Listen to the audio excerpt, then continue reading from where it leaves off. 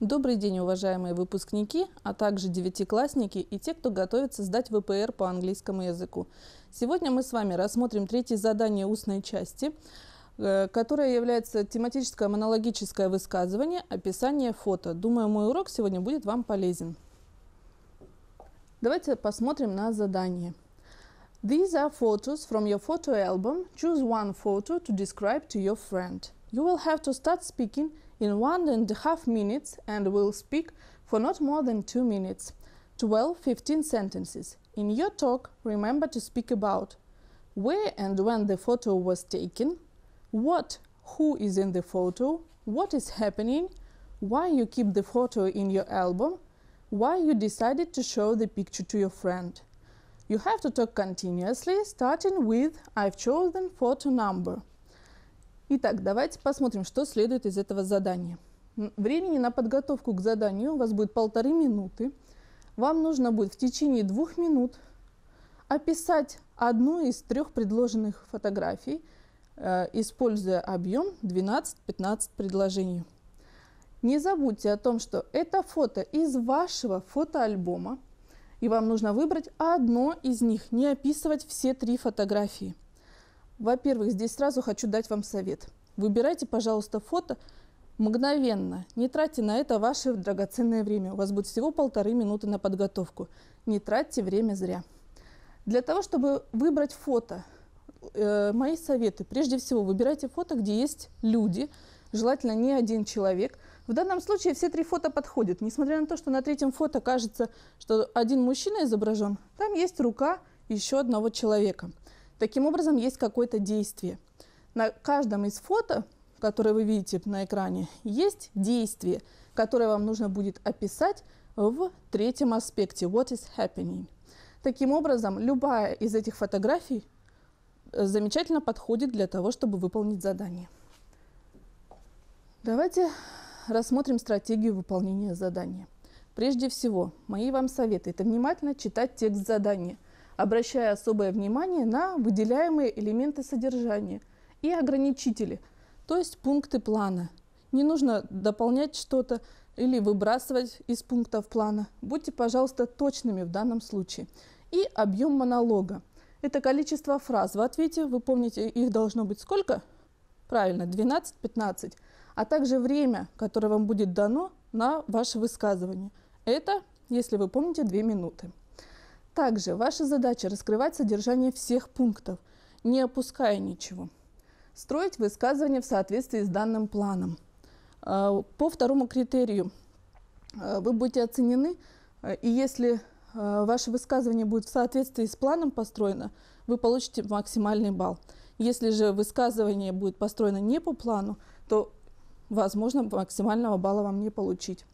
Также при планировании монологического высказывания сначала продумать нужно ключевые фразы каждого пункта. Не придумывайте сразу все монологическое высказывание. За полторы минуты, возможно, вам не удастся это сделать. Продумайте ключевые фразы по каждому пункту. Дальше. Начинать следует с общего представления темы. Нужно давать развернутую аргументацию, если в пункте есть слово why. А такими пунктами у нас являются два последних пункта. Давайте вернемся к заданию why you keep the photo in your album and why you decided to show the picture to your friend. Итак, нужно давать развернутую аргументацию в этих двух последних пунктах, а также избегать давать избыточную информацию, которая не обозначена в пунктах. Что означает избегать давать избыточную информацию? Когда вы будете описывать фотографию, пожалуйста, описывайте фотографию, а не составляйте рассказ по картинкам. Не нужно додумывать то, чего нет на фотографии. Очень часто выпускники рассказывают, что было до того, как была сделана эта фотография, или что происходило после того, как ее сняли. Не нужно этого делать. Описывайте фотографию. Давайте рассмотрим критерии оценивания выполнения этого задания. Начнем с максимальных баллов. А, по критерию решения коммуникативной задачи, то есть по содержанию, максимально возможное количество баллов – это 3 балла. А, по второму критерию организация высказывания максимальное количество баллов 2. Также максимальное количество 2 балла по языковому оформлению высказывания. И таким образом максимальное количество баллов вы можете получить 7 за выполнение этого задания. 3 балла за решение коммуникативной задачи вы получите в том случае, если коммуникативная задача выполнена полностью, содержание полно, точно и развернуто отражает все аспекты, указанные в задании, и объем вашего высказывания составляет 12-15 фраз. 2 балла вы получите в случае, если коммуникативная задача выполнена частично. Один аспект не раскрыт, а остальные раскрыты полно, или 1-2 раскрыты не полно. Таким образом, в вашем ответе 9 или 11 фраз. 2 балла вы получите за организацию высказывания в случае, если высказывание логично и имеет завершенный характер, имеются вступительная и заключительная фразы, помните, пожалуйста, о них, а, которые соответствуют теме, а также средства логической связи используются правильно. Что значит средства логической связи используются правильно? Это значит, э, вы использовали достаточное количество средств логической связи для того, чтобы ваш рассказ звучал связно. Следующее. Языковое оформление высказывания критерий. Здесь максимальное количество 2 балла вы получите в случае, если используемый словарный запас, грамматические структуры и фонетическое оформление высказывания соответствуют поставленной задаче. Допускается не более двух негрубых лексико-грамматических ошибок и или не более двух негрубых фонетических ошибок. Что значит негрубые ошибки? Это ошибки, которые не являются материалом начальной школы или пятого класса. Давайте рассмотрим э, критерии дальше. Э, посмотрим, когда же вы получите один балл за решение коммуникативной задачи. В том случае, если коммуникативная задача выполнена не полностью, два аспекта не раскрыты, а остальные аспекты раскрыты полно, или все аспекты раскрыты не полно, а объем вашего высказывания 6-8 фраз. А, в случае, если же коммуникативная задача выполнена менее чем на 50%, то есть три и более аспекта содержания не раскрыты, 5 и менее фраз, в этом случае вы получите всего лишь 0 баллов, к сожалению.